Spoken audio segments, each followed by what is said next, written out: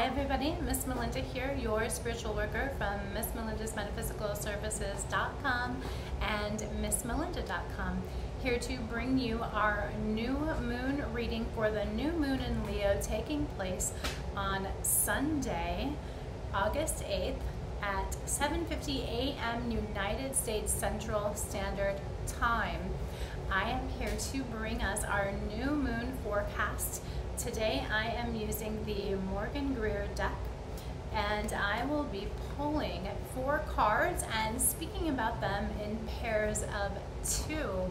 Today we are looking for the guidance and messages that will assist us with best and most successfully traversing the energies of this new moon, Leo new moon, coming up on Sunday, August 8th what are the messages and what is the guidance available for us for this new moon. I'm shuffling the deck and let's see which cards come up. I've got our first two. Our first card is the Three of Wands and the second card is the Hanged Man.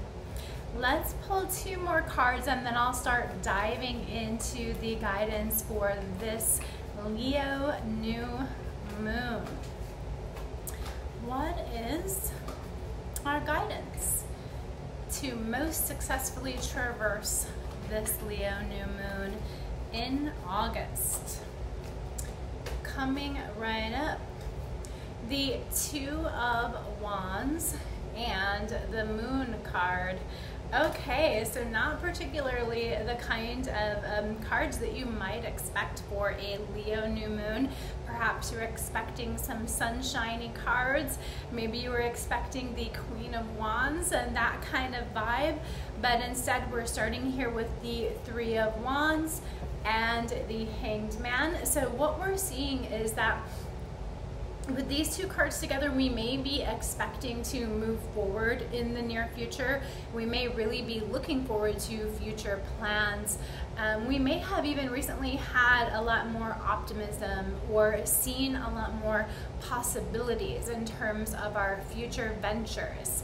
So here we are looking forward into the future, really expecting to move forward, feeling more optimistic, feeling more hopeful, seeing more possibilities for ourselves, and yet feeling a little bit stuck or maybe a lot stuck with this hanged man energy.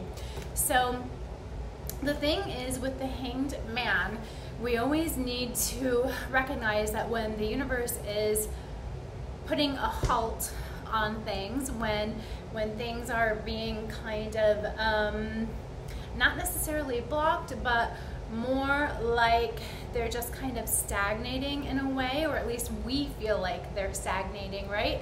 When that happens when things just refuse to move forward because of forces outside of ourselves, because of circumstances, because of whatever is happening um, in the world around us and the culture around us and our community or on the world stage, right? Um, the Hanged Man has that kind of energy. It's energy coming from outside of us that affects us and prevents us from doing the things that we feel we're ready to do. And whenever that happens, we need to recognize that it is for a purpose, and the purpose is to see things from a new perspective. So when we're feeling um, like we're ready to move, but we're just stuck and nothing will flow, we need to stop and say, how can I see things differently now? What new perspective can I gain from this? Sometimes it's helpful to literally turn things upside down. Look at them from the opposite way that you have been recently, or even play a game with yourself and say, if I were somebody completely opposite me, how would I be feeling? What would I be thinking? How would I be seeing things? Or what is the complete opposite perspective from my own perspective? And what can I learn from that? That's a little game we can play with ourselves just to turn our perspective on its side. The hanged man literally wants us to turn things upside down, turn our perspective on its side and gain new insight. So the reason we're not moving forward right now is because there's something new to learn and it's really about the perspective we can gain.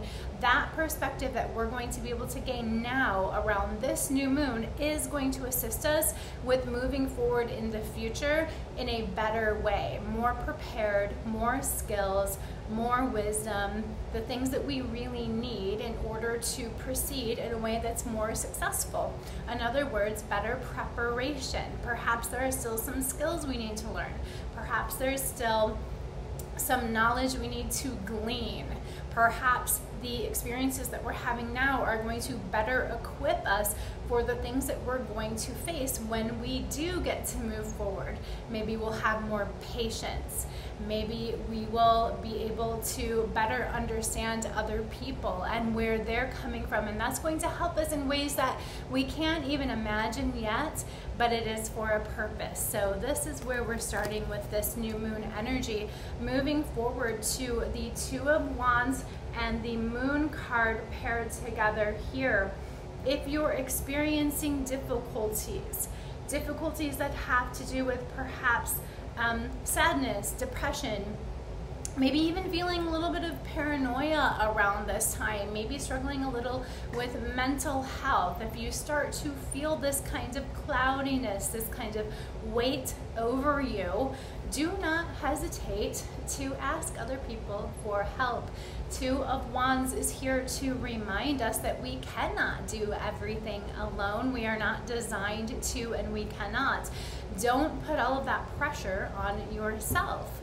You can't always heal yourself alone. You can't always do everything that you need to alone. We're meant to work together, we're meant to lean on each other also, if you're the kind of person that likes to lead, that likes to be at the forefront, that likes to be out in the public eye, uh, that likes to head the projects, then around this new moon is a good time for you to take a step back and let somebody else shine in that limelight recognize that you need people in all roles in order for anything to succeed.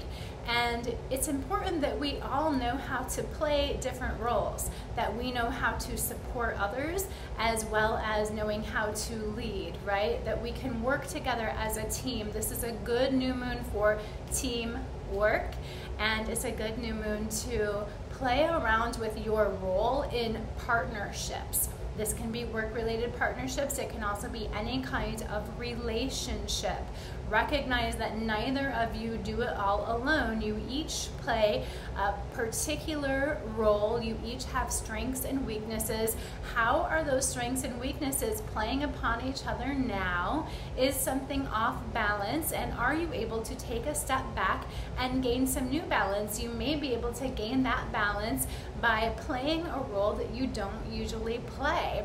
With this hanged man here, uh, letting us know that new perspective is needed and that it's the opposite from what we've been uh, toying with or what we've been dwelling on. Perhaps ideas that are even the opposite from from the way that we've been feeling right?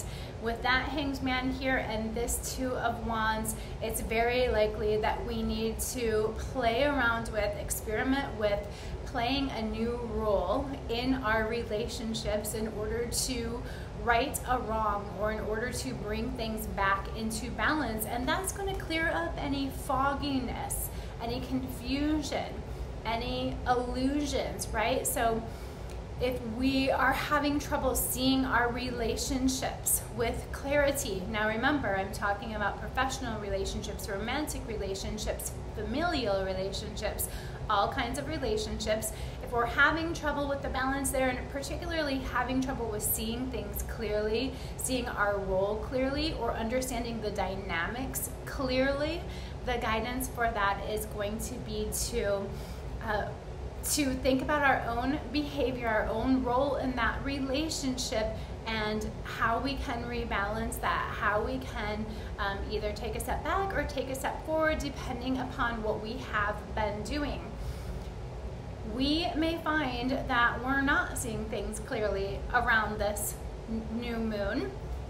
And another way that some additional guidance may come to you around this new moon will be in your dreams. Our dream lives are going to be very important. They're probably going to be very powerful around this time. You can expect an increase in your dream life. You can expect some intensity, some surprises. Pay attention, there's going to be messages for you there.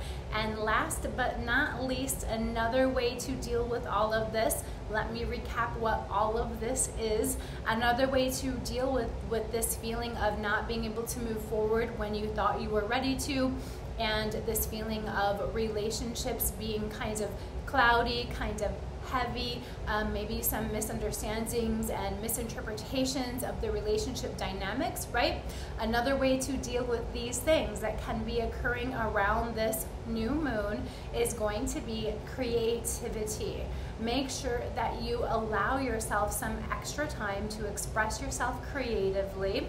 Uh, in whatever way feels right to you. There are many, many ways to explore creativity play with that. Play with letting your emotions or even your pent up energies, even your pent up frustrations, um, playing with those, allowing those to flow a little bit more freely. Maybe it's going to be intuitive movement, maybe it's going to be dance, maybe it's going to be painting or drawing or something that we understand in a more classic sense as creative. It can be anything that feels good to you gardening, crafting, cooking, create create. That is the main word. Many, many blessings and happy new moon.